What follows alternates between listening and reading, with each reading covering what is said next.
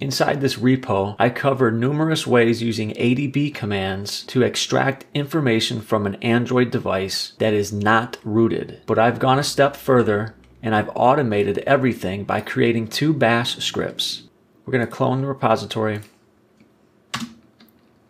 cd inside of Android Forensics, make both of the scripts executable by running chmod plus x.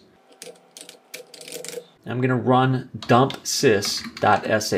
My phone is connected, USB debugging is enabled, and what you get is an abundance of information printed to the screen as well as saved into different files.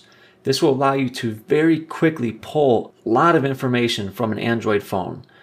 At the bottom here is a summary of the commands that have been executed. And if you want to go even further, I have another script that is called extract.sh. Amongst other things, this script will pull a bug report all email addresses registered on applications on the device. It'll tell you the number of reboots. It will extract all the contact information. It will dump the call log. It will dump the SMS messages. Everything is printed to the screen and saved to respective files. At the end of the script, there is a summary of the extracted files and the bug report generates in the background. Perfect for Android forensics on non-rooted devices perfect for investigators, perfect for OSINT. Full video is coming soon.